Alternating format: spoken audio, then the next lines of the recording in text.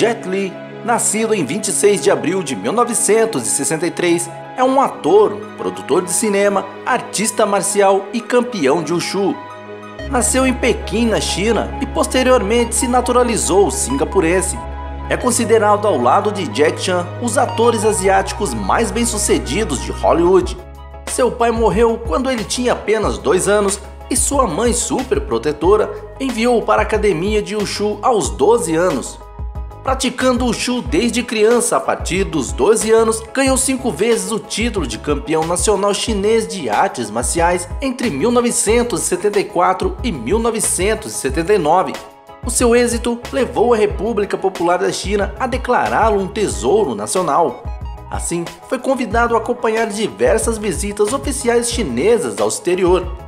Em 1982, ele fez sua estreia no cinema em O Templo de Shaolin, que se tornou imediatamente um sucesso nacional na China.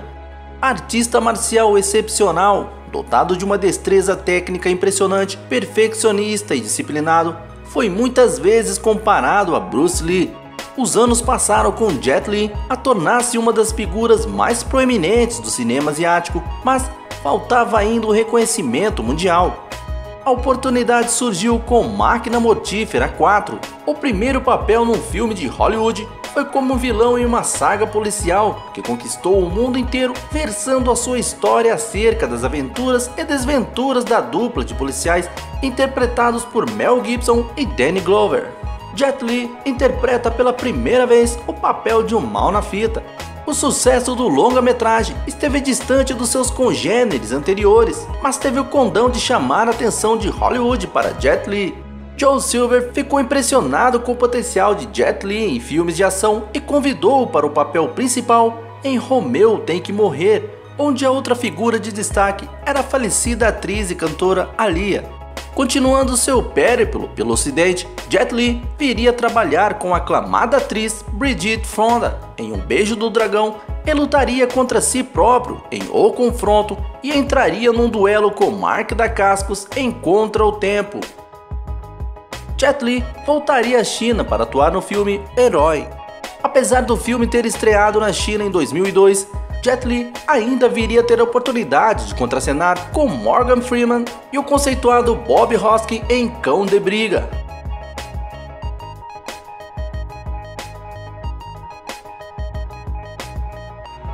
Em 2006, chegou a confirmar que o Mestre das Armas seria o seu último filme voltado às artes marciais no universo da China antiga.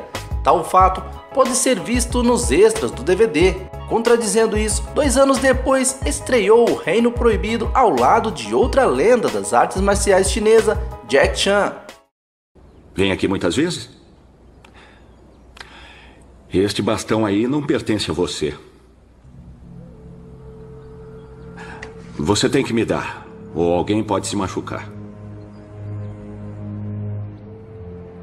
A partir daí, voltou-se para os filmes de ação e atuou em Os Mercenários com Sylvester Stallone e outros veteranos em 2010.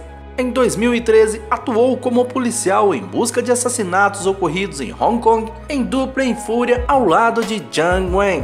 Como atleta, Jet Li dedicou-se ao Wushu, especializando-se nas modalidades sem combate, ele iniciou sua carreira nas artes marciais como integrante da equipe de Wushu de Pequim, um grupo de atletas organizados para realizar performances durante os campeonatos nacionais chineses. Como membro da equipe, recebeu treino intensivo e conquistou 15 medalhas de ouro e uma medalha de prata nos campeonatos chineses de Wushu. O ator é praticante do budismo tibetano. Em 1987, ele se casou com Huang Qiuyan, com quem ele teve duas filhas. Eles se divorciaram em 1990. Desde 1999, ele é casado com a atriz Nina Lee Shi. Ele tem duas filhas com ela também. Em 2013, Jet Li revelou que sofre de hipertireoidismo e tem lidado com a questão nos últimos três anos. Como sua frequência cardíaca pode atingir 130 a 140 no normal, o ator toma medicação para controlar sua frequência cardíaca e foi aconselhado a não fazer nenhum tipo de exercício. em 2016, ele afirmou que havia se recuperado de sua doença e que aceitar menos ofertas de filmes era devido ao seu trabalho de caridade e não por causa de suas condições de saúde. Em 2017, o ator aparece em um curta-metragem chinês de Kung Fu dirigido por Wen Jiang e produzido pelo próprio Jet Li. Jet Li está escalado para interpretar o Imperador da China em Mulan, que deve chegar aos cinemas estadunidenses no dia 27 de março de 2020. Em maio de 2018, o ator apareceu em uma foto praticamente irreconhecível.